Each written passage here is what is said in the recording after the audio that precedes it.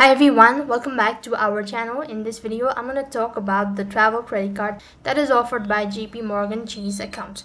So there are different types of credit card that has been offered by credit card, JP Morgan Chase credit card. So first of all, let's understand what are the benefits and what does it offer. So a travel credit card are a type of reward credit card geared specially towards travel. When you've actually traveled, you could go and use this following card. Now, travel credit card offer comes with an introductory offers, providing the card member with a mileage or points. So these rewards may take effect when the user hits a designated amount spent within a specific period. You could also typically earn points on everyday spending and on top of intro offers and every spending. Travel credit card may include bonus point for booking hotels or other travel services as well. So these points can later be redeemed for a travel related rewards. Likewise, to go ahead and understand more about it, you could go to the section that says personal and business card.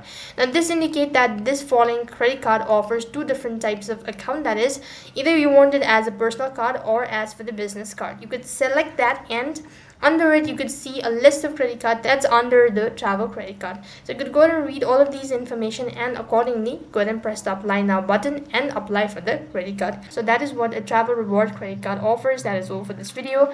I hope the video was helpful. Make sure to like share and subscribe to our channel. Thank you for watching. See you in the next video